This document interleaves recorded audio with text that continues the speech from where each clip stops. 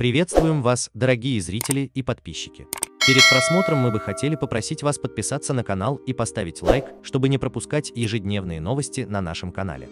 А мы переходим к новости. Известный актер стал жертвой грабителей. Звезда культового фильма «Приключения электроника» Юрий Тарсуев оказался слишком доверчивым человеком.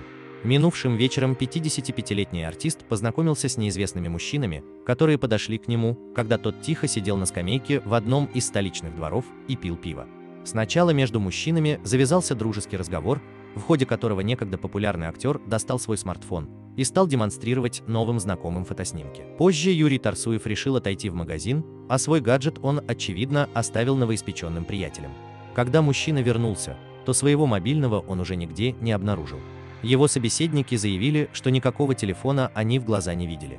Тогда артист понял, что стал жертвой обманщиков и даже решил написать заявление в полицию. Как сообщил МК, сам Тарсуев оценил стоимость своего смартфона в 20 тысяч рублей.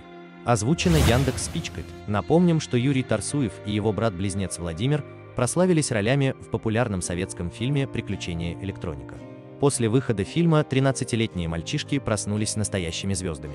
Кинокартина с их участием стала самым популярным детским фильмом за всю историю советского кино. Однако, став взрослыми, братья почти перестали играть в кино и решили строить карьеру в совсем других областях. В настоящее время Юрий Тарсуев является безработным. Напишите свое мнение об этом в комментарии. Обязательно подпишитесь на канал и нажмите на колокольчик. И свежие новости каждый день вы будете видеть первыми. Спасибо за просмотр.